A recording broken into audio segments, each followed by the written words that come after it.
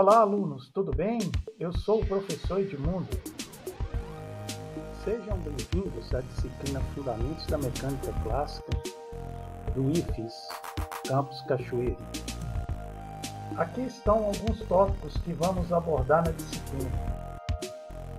Medições, movimentos retilíneos, movimentos circulares, lançamento horizontal e oblíquo, lei de Newton, conservação da energia, conservação do momento linear e angular.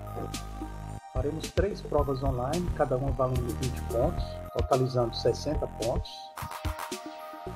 Faremos também avaliação no AVA, valendo 25 pontos, e também experimentos virtuais, totalizando 15 pontos.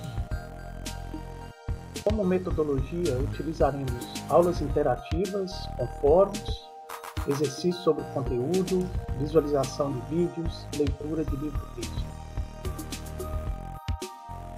Recursos: ambiente virtual de aprendizagem, internet, softwares, apostilas, livros, textos, vídeos, animações, chats interativos, fóruns de discussões. E assim chegaremos felizes ao final da disciplina. Por último, gostaria de dizer que estou ansioso para iniciar um semestre incrível com vocês. A gente se vê durante o curso. Até mais!